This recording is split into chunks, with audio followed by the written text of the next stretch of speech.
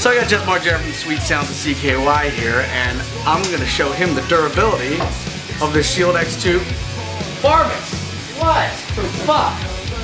Trying to do a commercial. And I'm gonna put a Shield X2 cell phone case on it just to show him the durability of this son bitch. Cowbell.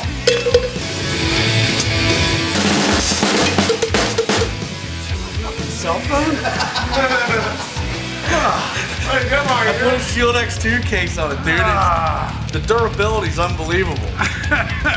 Dude, it's fine. I told you. Shield X2. Can't get mad at mine.